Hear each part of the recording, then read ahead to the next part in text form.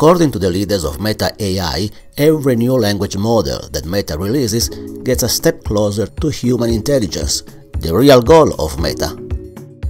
Language models not only get more sophisticated with every release, but they rip out all the benefits of being open source.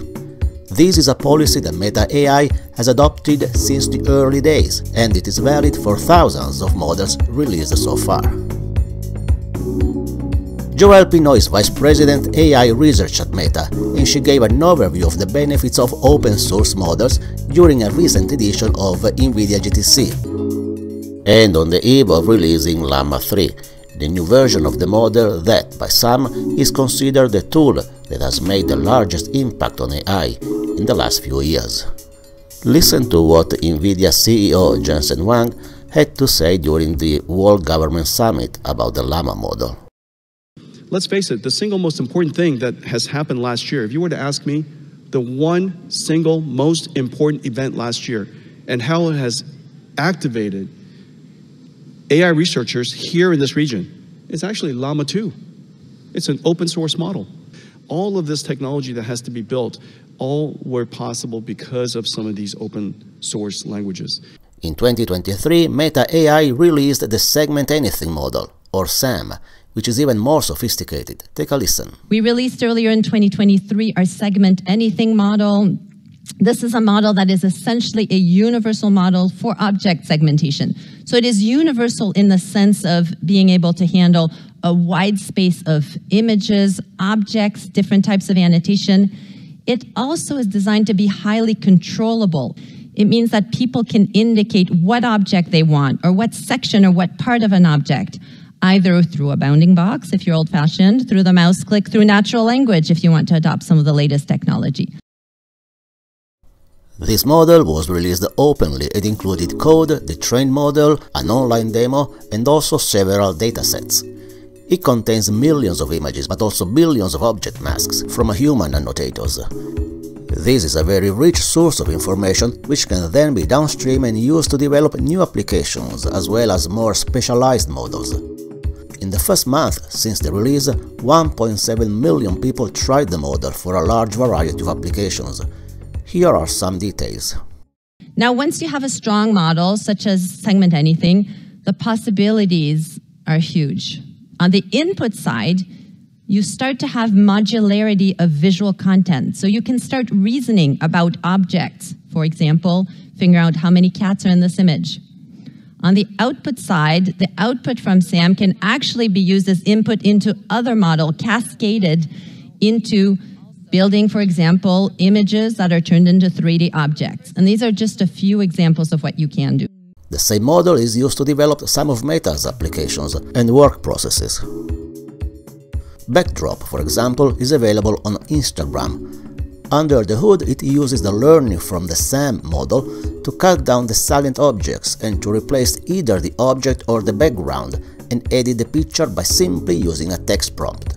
It is also being used to create custom stickers, and there is a lot more to come according to the speaker. Take a listen.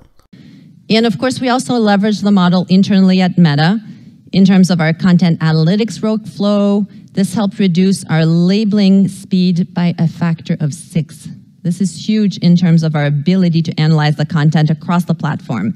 SAM was not the first nor the last model to be released as open source, and it is part of the Llama family of models, which, as we heard, is the most impactful open source model to date. But here are some details about how the impact is measured. This also helps to better understand why open source models accelerate innovation. Um, in February 2023, when we released the first Llama model, the reaction was huge. Uh, we received unprecedented interest compared to any of our models before. We had more than 100,000 individuals, organization apply for access in just the first few months, and tens of thousands quickly using it to innovate. Um, this was a scale of reaching out that we hadn't seen with our previous model. Um, by July 2023, we released Llama 2. In this case, we opened it up further in terms of having a license that is permissive for commercial use. The reaction was even greater. We had 160 million downloads, more than 19,000 derivatives to date. We're still tracking that. The impact we hear around the world from this model is absolutely phenomenal. New startups, we saw established companies, as well as a lot of government, public sector institutions who are building directly on this model to address the problems that they see and that they want to solve.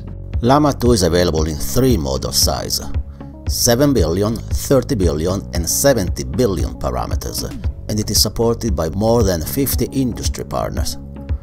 But what the user seems to appreciate are also the smaller size models. This is a topic that we also addressed in the previous video and which you can find at the link above. Um, but in fact, it's interesting to note that in many ways the smaller model is actually of greater use to many. I know there's a lot of conversations about the deployment of extremely large models, or, or, today what we call frontier models. But in practice, where a lot of the values lie in terms of democratization and in terms of collaboration is in the smaller scale model. So this is something that we will continue to be supporting over time. One of these small models is called Llama, a specialized version of Llama specifically for coding. It is empowering developers, it is empowering Meta-owned developers, and it is empowering developers around the world.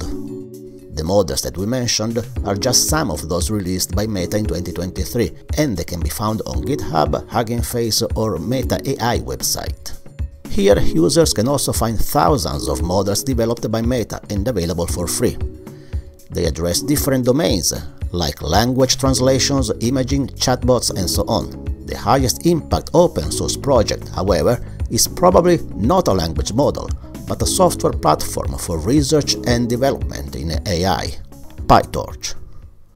When the, the earliest, and to this day perhaps the highest impact open source project we've done is actually PyTorch, leading machine learning framework. I, am not going to ask in this room how many people have used PyTorch. Um, I will say that when I joined Meta in 2017, the market adoption for PyTorch was barely, barely in the double digits. Um, what started as a project in our research labs quickly grew through the contributions of contributors around the world. And today it's the leading framework. It's unlocking huge amount of progress across the industry as well as really driving developer productivity. A testament of the impact the developers can have when a product is released open source is given by the head of Meta AI, Yann LeCun who reminds us which revolutionary application was built using PyTorch. And, and you know, certainly uh, when it comes to AI, I think uh, we've open sourced on the order of a thousand different projects uh, over the last 10 years. So that, that tells you the volume of, of production. Uh, probably the most popular one is called PyTorch. It's a software platform that's almost universally used for research and development in AI. Um, we just heard from Sam Altman, uh, ChatGPT is built with PyTorch. And PyTorch was built at Meta and is now actually the property of the Linux Foundation. So Meta transferred the ownership because uh, it's become too big of a thing for a single company to really manage. So in summary, for Meta AI to go open source with their models is a no-brainer. Though the research and product departments at Meta work together, the development process and the innovation are accelerated with the inputs of developers from the outside. Here is how Joelle Pineau explains it. This is an accelerator to our real goal, and our real goal in our AI research team is actually to achieve advanced machine intelligence, build all those technical blocks that you need to reach general intelligence. But we find over and over again that actually the progress in AI is accelerated when it comes to having more people build on our stack, more people come together to develop the science as well as the technology that we need to get there. We find that open innovation leads to economic growth, it leads to better and safer product and more responsible development, and every time we open source quality models, we're actually enabling more people to build better solutions. This is good for Meta, this is good for society, this is certainly good for the progress of research.